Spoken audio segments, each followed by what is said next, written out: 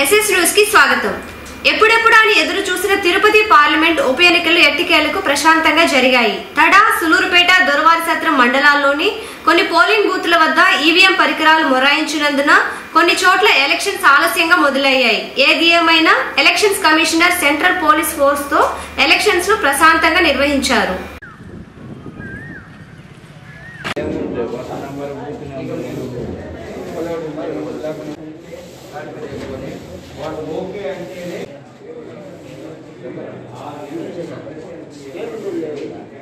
కుర్చీ తెచ్చుకొని బయట ఉన్నాయి లేబుల్ ఉంటాయి కదా వాటి ముందు రాసుకోవాలి we are conducting polling not arrangements that's why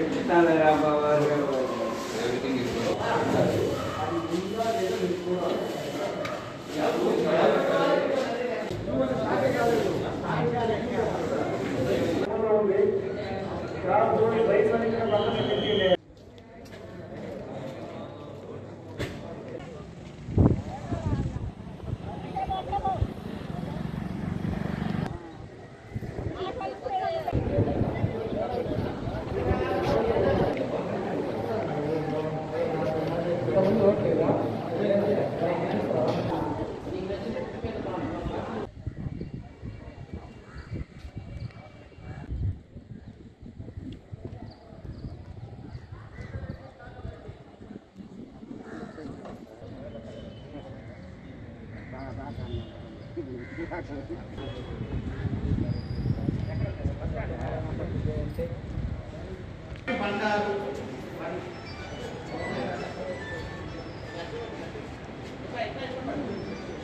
That is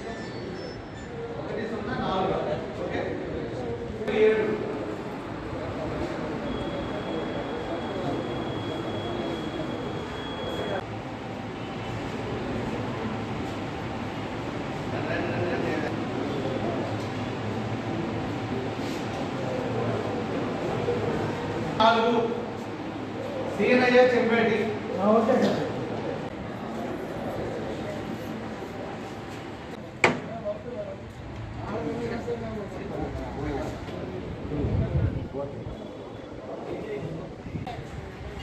ఏదో నువ్వు తీసుకున్నాడు అందరూ తీరా. అతను ఇంకో వ్యక్తి వచ్చాడు కదా.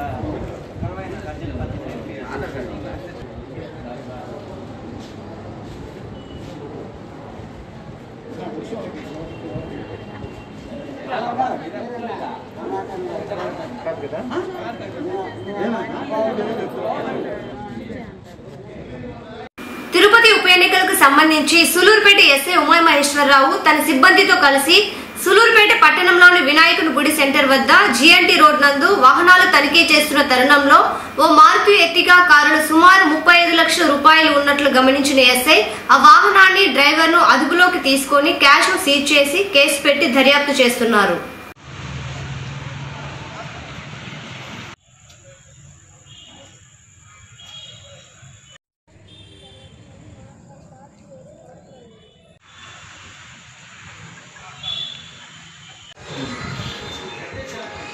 ఎంత కౌంట్ చేసావు అది? ఓవరాల్ ఎంత? వెంకటన్న ఇరవై ఇచ్చిన లెక్కేసాడు సార్. నేను యాభై వేలు ఐదు వేల ఎనిమిది వందలు ఐదు వేలు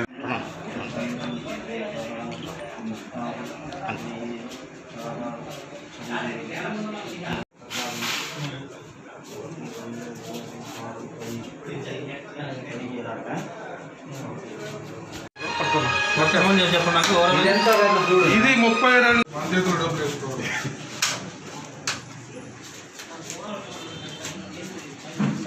మన చేతులు డబ్బులు వేసుకోవాలి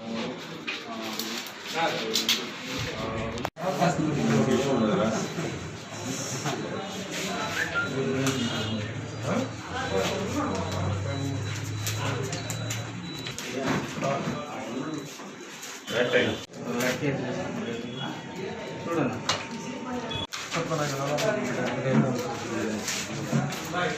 ఇది నా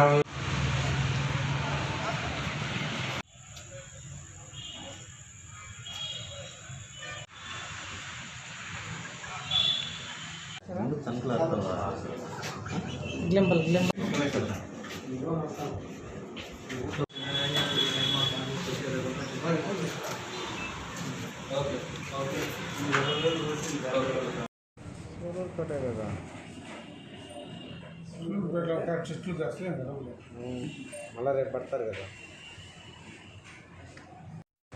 లెక్కేసేసి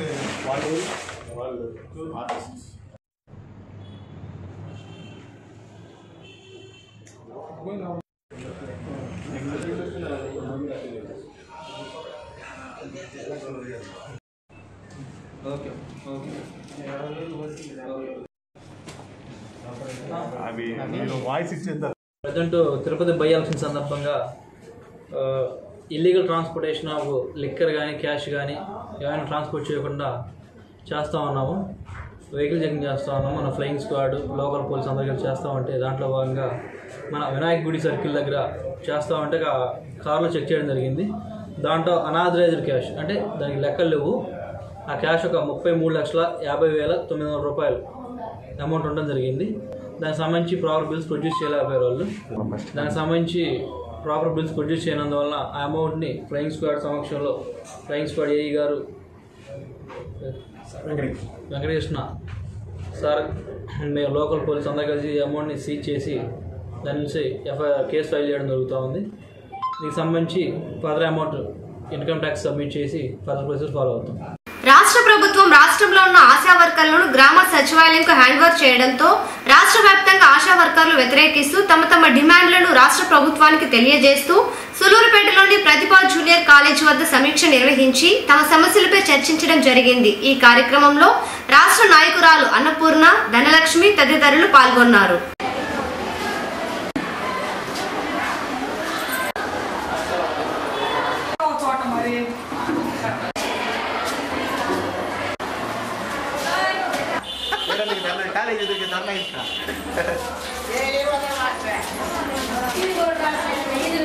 దూరం నేను కాలేజ్ ఎదురుగా చేస్తాను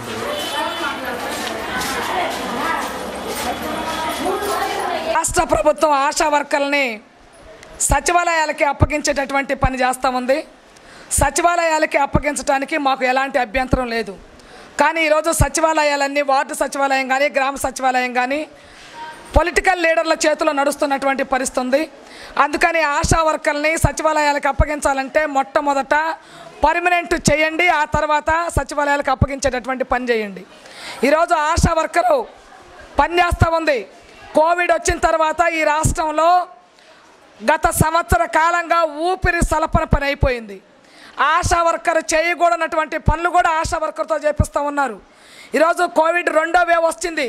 ప్రజలు భయంకరంగా కోవిడ్ బారిన పడుతూ ఉన్నారు. వాళ్ళకి ఎవరైతే హోమ్ ఐసోలేషన్లో ఉన్నారో ఎవరైతే కోవిడ్ బారిన పడ్డారో వాళ్ళందరూ ఫోటోలు తీసి మాకు పంపించమని ప్రభుత్వం చెప్తా ఉంది. ఆశా వర్కర్లకి మీరు ఏమైనా సెల్ ఫోన్ ఇచ్చారా అని అడుగుతా ఉన్నాం. సిమ్ కార్డ్ ఇచ్చారా అని అడుగుతా ఉన్నాం. రీఛార్జ్ చేయించారా అని అడుగుతా ఉన్నాం. మీరు ఇతర ఉద్యోగులందరికేమో సెల్ ఫోన్లు ఇచ్చి ట్యాబ్లు ఇచ్చి రీఛార్జ్ చేయించి సిమ్ కార్డ్ చేసి అన్ని రకాల సౌకర్యాలు కల్పించిన తర్వాత పని చేయమని చెప్తున్నారు. ఆశా వర్కర్ ఏమో తన సొంత డబ్బులు వేసుకొని కొనుక్కోమని చెప్తున్నారు. ఇది ఎక్కడ న్యాయం అని అడుగుతా ఉన్నాం. గవర్నమెంట్ సెల్ ఫోన్ కొనిస్తేనే సెల్ ఫోన్ ద్వారా పనిచేస్తారు ఆశా వర్కర్లు. లేకపోతే చేయరని కూడా మేము ప్రభుత్వానికి స్పష్టం చేసే పని చేస్తున్నాం. కార్మికులుగా గుర్తించమంటే గుర్తించట్లేదు. పర్మనెంట్ చేయమంటే చేయట్లేదు. కనీస వేతనం ఇవ్వమంటే ఇవ్వడం లేదు. ఈరోజు ఆశా వర్కరు గర్భవతుల కోసం పసిపిల్లల కోసం బాలింతల కోసం పనిచేస్తూ ఉంది. కానీ అదే ఆశ ఆశా వర్కర్ గర్భవతి అయితే ఈ ప్రభుత్వం పట్టించుకునే పని చేయట్లేదు. మెటర్నిటీ లీవ్ లేదు. వేతనంతో కొన్ని సెలవులు లేవు. డెలివరీ అయిన తర్వాత ఐదో రోజే వచ్చి పని చేయమంటా ఉన్నారు. ఇది ఎక్కడ న్యాయం అని అడుగుతా ఉన్నాం. అందుకనే ఆశా వర్కర్కి మెటర్నిటీ లీవ్ ఇవ్వాలి. వేతనంతో కూడినటువంటి మెటర్నిటీ లీవ్ ఇవ్వాలని కోరుతా ఉన్నాం. ఒకవైపు ఏం పర్మనెంట్ చేయటం లేదు కార్మికులుగా గుర్తించట్లేదు కానీ సాధికార సర్వేలో ప్రభుత్వ రికార్డుల్లో ఆశా వర్కర్ని ఉద్యోగాన్ని నమోదు చేస్తూ ఉన్నారు. దీనివల్ల సంక్షేమ పథకాలన్నీ అమలు కాకుండా పోతా ఉన్నాయి. ఆశా వర్కర్కి సంక్ష చేయూత లేదు. వాళ్ళ భర్త ఆటో నడిపితే వాళ్ళకి ఆర్థిక సాయం లేదు. టైలర్ అయితే ఆర్థిక సాయం సహాయం లేదు. మగ్గాలు నేర్చే చానే చేనేత కార్మికులు అయితే వాళ్ళకి ఆర్థిక సహాయం లేదు. అమ్మఒడి అమ్మ ఒడి లేదు విద్యా దీవెన లేదు ఏ రకమైనటువంటి సంక్షేమ పథకాలు అమలు చేయటం లేదు. మేము ఈ ప్రభుత్వాన్ని ఒకటి అడుగుతున్నాం.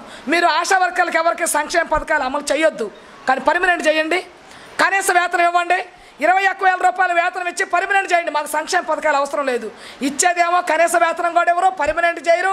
ఏ ఉద్యోగం ఉంటుందో పోతుందో కూడా తెలియనటువంటి ఒక అబద్ధతలో ఈరోజు ఆశా వర్కర్ పనిచేస్తుంది. పిఎస్సికి వెళ్ళాల్సి వచ్చినా కోవిడ్ పేషెంట్ని ఆసుపత్రికి తీసుకెళ్ళాల్సి వచ్చినా ఏ ఇబ్బంది వచ్చినా ప్రమాదం జరిగితే కనీసం ప్రమాద బీమా సౌకర్యం కూడా లేదు. అందుకే రాష్ట్ర ప్రభుత్వాన్ని కోరుతా ఉన్నాం. పది లక్షల ఇన్సూరెన్స్ పథకాన్ని అమలు చేయండి. ఈ గవర్నమెంట్ అధికారంలోకి వచ్చిన తర్వాత అరవై ఏళ్ళు దాటిన వాళ్ళు రిటైర్మెంట్ చేస్తున్నారు. పద్నాలుగేళ్ళుగా శ్రమ చేశాం. నాలుగు వందల రూపాయల కానీ తీసుకున్నాం. అనేక పోరాటాలు చేసి ఈరోజు పదివేలు సాధించుకున్నాం. పదివేలు వచ్చిన తర్వాత కనీసం నాలుగు నెలలు కూడా జీతం తీసుకొని ఇవ్వకుండానే రిటైర్మెంట్ చేసి పని రిటైర్మెంట్ చేసే పని చేస్తుంది. మీరు రిటైర్మెంట్ చేయండి. మేము కాదంట్లా పర్మనెంట్ చేయకుండా రిటైర్మెంట్ ఏ రకంగా చేస్తామని అడుగుతున్నాం. శ్రీరామనవమిని పురస్కరించుకొని సులూరుపేటలోని శ్రీ బాలాంజనేయ స్వాముల వారి దేవస్థానం వద్ద శ్రీరామనవమి వేడుకలు ఘనంగా ప్రారంభించారు. ఈ సందర్భంగా స్వాముల వారు రోజుకు అలంకారంతో భక్తులను దర్శన భాగ్యం కల్పిస్తున్నారు. అనేక మంది భక్తులు దేవస్థానం వద్దకు శ్రీరామనవమి వేడుకలను తిలకించి తీర్థ ప్రసాదాలు స్వీకరించారు.